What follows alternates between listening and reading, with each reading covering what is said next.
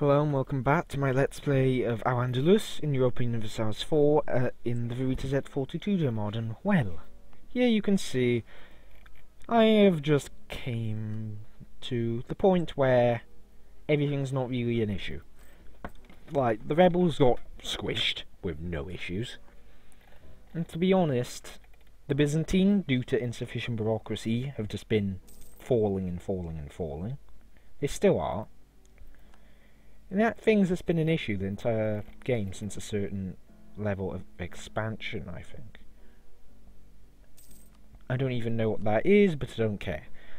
So either way, I'll just go with that. Egypt is just at war with everything, because, you know, the Mamluks and that are having a go as well now.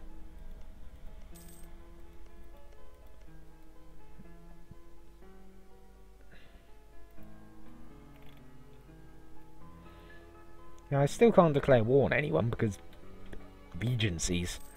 And god, how many modifiers do I have? I have like near permanent 70 plus prestige. Jesus Christ. But either way, how do I put this? Since I'm grinding to an inevitable halt, in terms that it's more actually the truces that limit me than the fights themselves. The fights themselves should be the challenge, but they're not.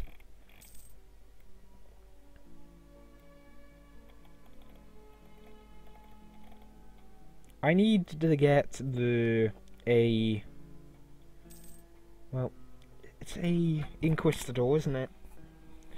And Inquisitors, or such, appear. See, it's definitely administrative, isn't it? So I'm gonna fire this guy. Well.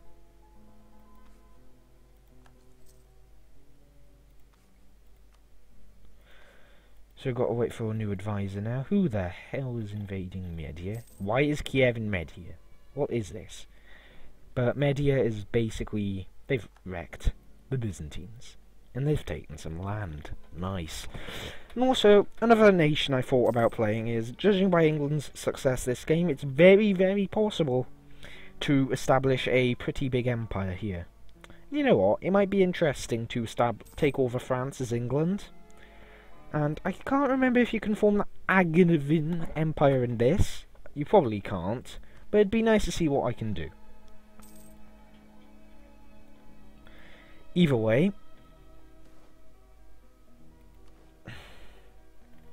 The Mamluks have been shreked because Oman decided let's kill them.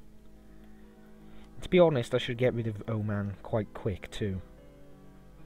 Like, they're not worth that much war score, even if they get all the Mamluks in them, but things could get issues in other ways too. I do not want certain things happening. Kurdistan and Samara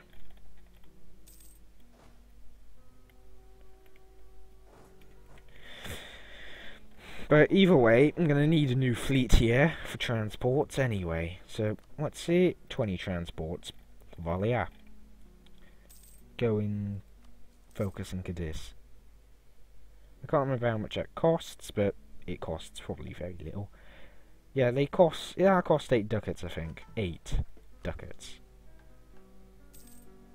So, for another 3 years, I've got this pretty decent stuff and I can convert most provinces, excluding like these really difficult to convert ones, like Cyprus for example.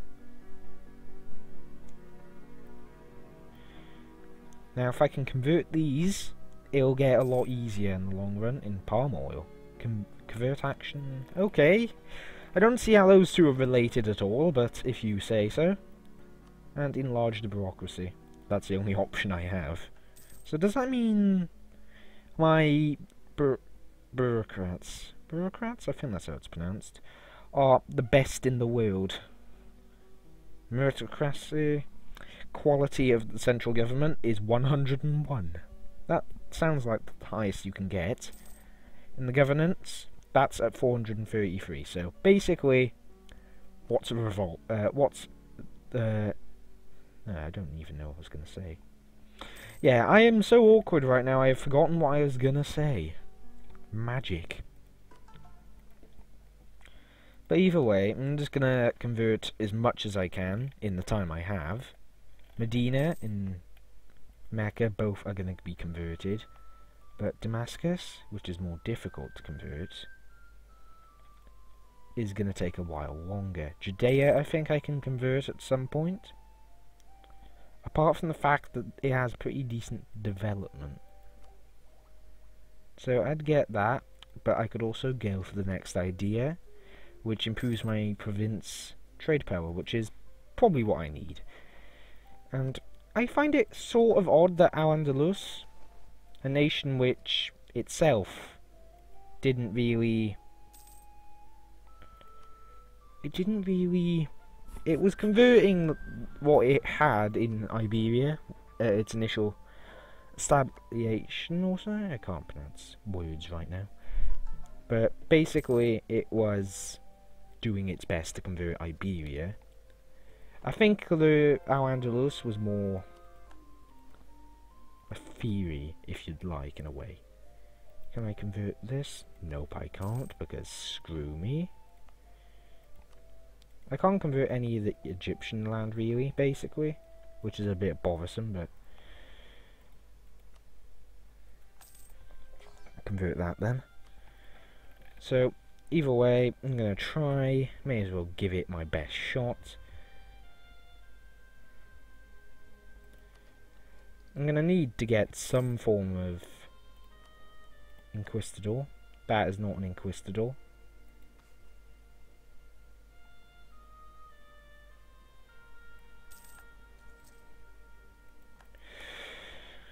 Just the Byzantines are gone, and Kurdistan is just going a little bit apeshit on them.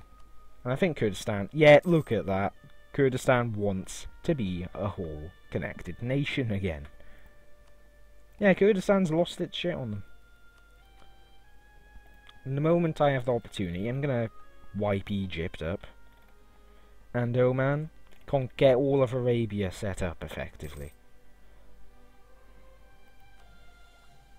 You know what, I should go for this. Because it does have one advantage. If I avoid falling behind in tech, I should be okay. Especially good in other categories, but it doesn't matter. Not now, anyway. And well... Diplomatic tech cost, I don't really care. Infantry ideas, I could go for the next tech, but it is pretty expensive. So, let's see. Infantry cost, yes please, I'll have that. And also local traders.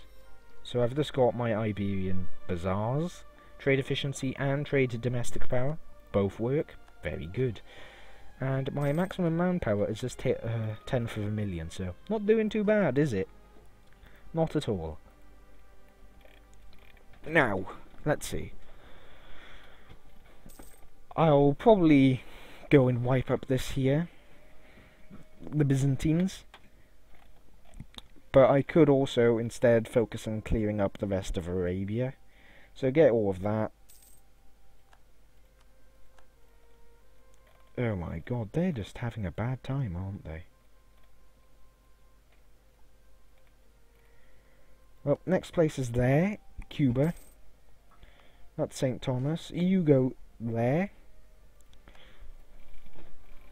My Cuban holdings are not very well defended, but let's be honest. When this is what is occupied, uh, colonized of America at this time period, do I really have an issue? Like, the biggest threat was Norway, and Norway isn't really doing anything anymore, are they?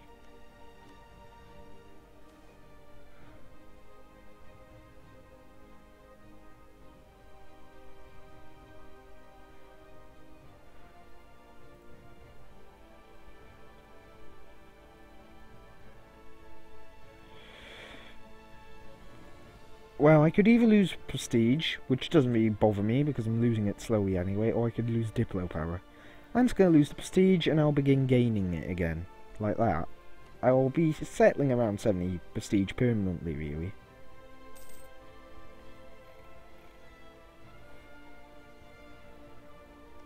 But yeah, once all of this is actually colonized, my aim will be to Uh, excuse me, did I just... What? What's this? What is this about? Explain. There's Andalusia and Colombia in North America because why not? Or something. But either way, Zapotec doesn't look like it's doing too well. The Maya are not looking too great either, are they? But either way, I could probably colonize this and begin a war against Maya, uh, establish a nation in the area, which will continue its future wars against them. But then again, there are other things I can do. And right now, I think I should finish on mopping up Arabia. Something I'm going to be able to do the moment this child comes to the throne. At this point, he's a teenager, but does it matter? Now, either way, I have some pretty terrible conversion ability. And you are what I want. You do sort of sap my entire income, but it's worth it, I think. And Kurdistan just gained that.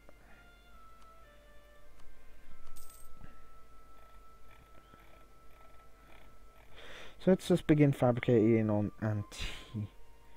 Just these two provinces are really the main thing I want to gain right now. Kurdistan I am probably just going to get rid of. And well, I'm converting just a little easier now.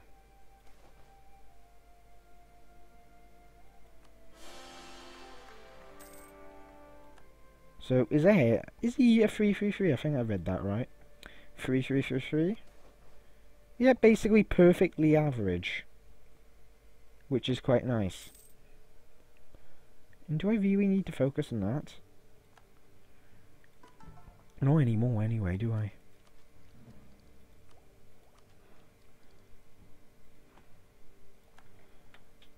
So either way, the first thing I want to do is annihilate Oman. I should probably... There's a revolt coming up. It's Coptic Zealots, Medina. Is Medina converting still? Yes, it is. Yeah, you can't stop this. You can't stop us. We're gonna get through this.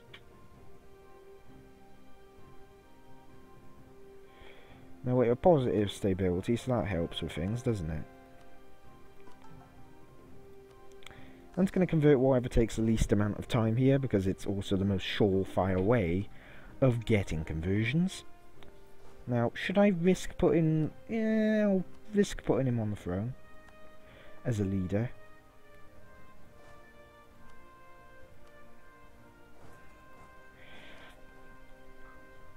So I'll start a war against Egypt soon, which will basically involve, say, you know, wiping up their Arabian possessions. Which isn't too difficult, is it? Wiping Egypt up anyway isn't going to be too difficult, is it? Egypt is pretty pitiful at this point. And take Adan? Adan is down here, isn't it?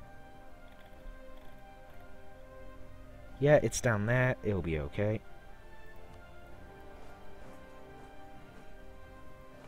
Let's go to there first the areas over here I'm just not bothered about. It can wait. Are they just going to go and siege the fort immediately because they're going to lose that battle? No matter how hard they try, that is a loss for them. Because that's going to finish basically inevitably unless I get pretty unlucky, let's be honest. Let's go back up there and siege that up. I'll get a border with Ethiopia I'll push this one down over here a little. In effect, I'll be winning either way. So, rest of the troops to Cuba. You go and wipe up the autos. You go and... Uh, not autos, oh man. Perhaps I could put an entire army down here to wipe up just Egypt, but you lost? Well, that's awkward, isn't it?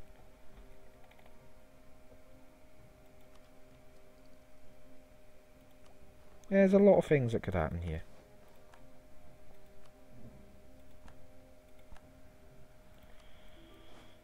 So, you're going to go there now. Let's send you down here, wipe up Egypt's Arabian possessions. While I'll Rolf stomp them, if you like. That was pretty nice.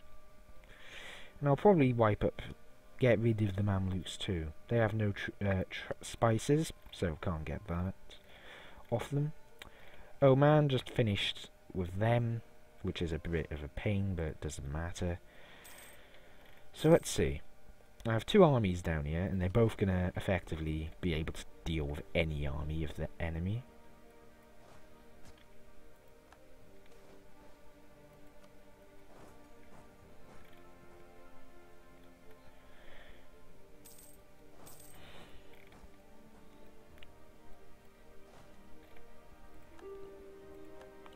So let's look at this.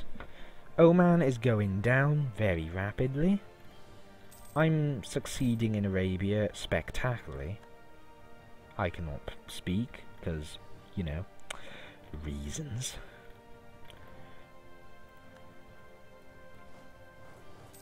Jazan, gonna be mine.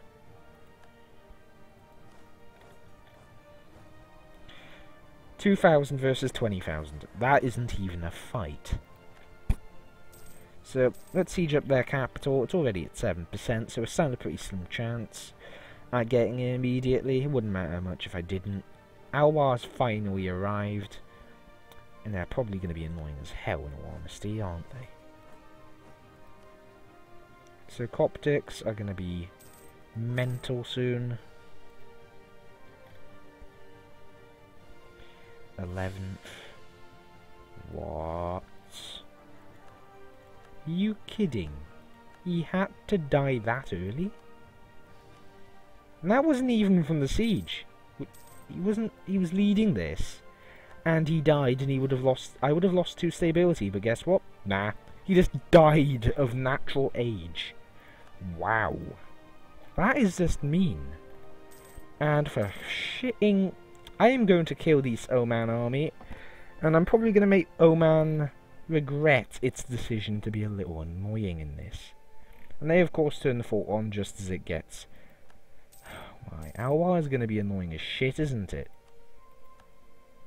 Hey Oman, you want to be an annoying bitch, do you? Let me teach you what happens to annoying bitches.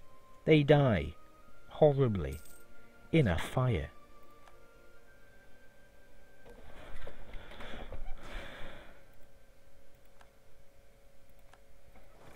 Alwar's going to suffer the exact same.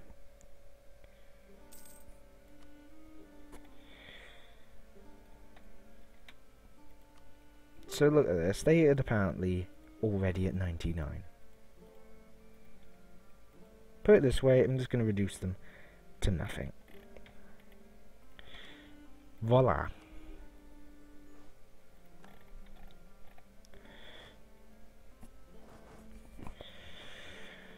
But yeah, that guy literally died of his age naturally. Wasn't the game wasn't being like, ah, oh, nah. It just said he died. He had rolled unluckily as hell. And he was a good ruler too. Gutting. Either way, got to cope with it. No longer got any stability. Which is, you know, crucial in managing a lot of crap. And the Egyptians, of course, are going to be a bunch of cocks and go and siege one of my newly gained provinces. Provinces which are still building troops, actually. Troops that I do not need or want anywhere over here. You're not needed. You can just get deleted and go back to hell. Oh, you're going to try and go and do something, are you? Now, look at this. They're just... Alwar just needs to die, and I am planning on fulfilling that. Because I'm going to make them die quite horribly.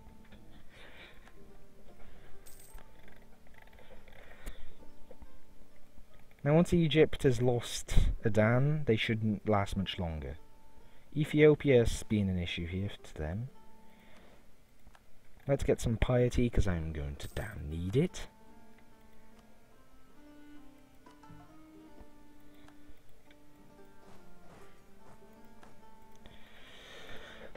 So Egypt basically is in a situation of, oh shit, I am fucked right now. But either way, let's go to the end of this year. Really unlucky the king died early. I do doubt it was through, you know, legitimate reasons. In battle, or the siege, that he died, because I only lost one stability. The game itself says you lose two if he dies in a battle or siege. Which is gutting, nevertheless, that he died. Either way, I'll have a perfectly average dude taking over. And let's be honest, that's okay with me. Now I have to go and deal with Alwar, who are still being a bunch of annoying pricks, you know.